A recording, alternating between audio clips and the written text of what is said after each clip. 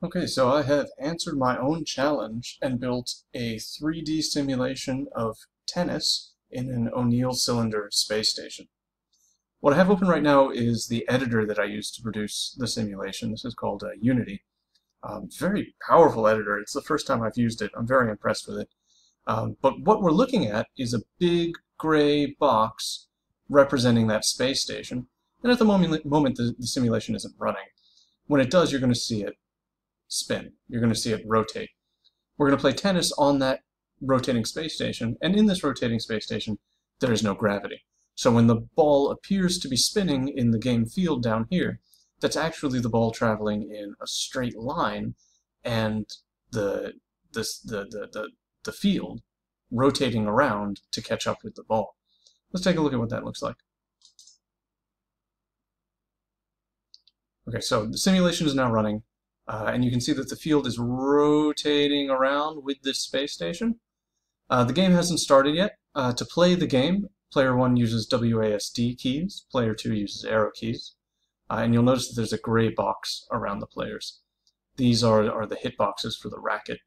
Uh, to return the serve, all you need to do is get the ball to pass into that gray box. To launch a serve, just move and then make sure that you get the ball to pass into that gray field.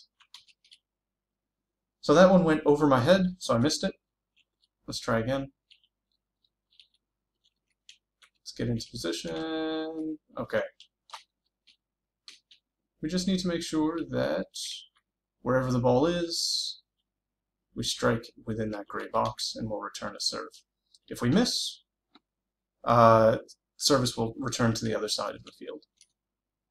So serve by moving, and then make sure that the ball passes into that gray box. I'll show that to you one more time.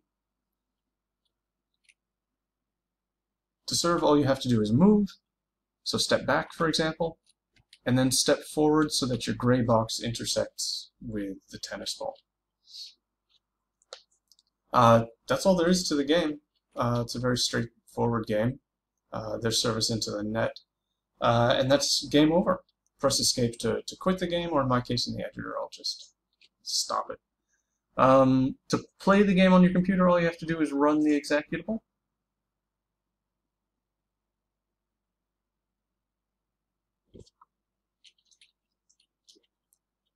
Same rules apply, just move to start service, and then strike within that, that gray hitbox to return the serve. Oh, just got that one back. That was a miracle shot.